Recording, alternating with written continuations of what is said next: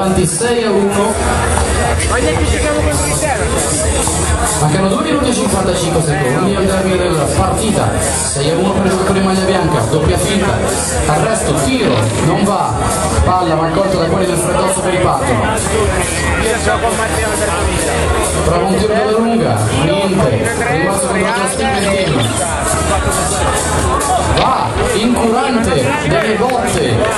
e casa il settimo punto e due e mezzo quindi siamo giunti a metà del secondo tempo. Gancio cielo che non va riparte Stigman Team. Uno contro uno appoggio rimbalzo per quelli del freddozzo che sono sotto 7 a 1 2 e 10 l'arbitro fischia un fallo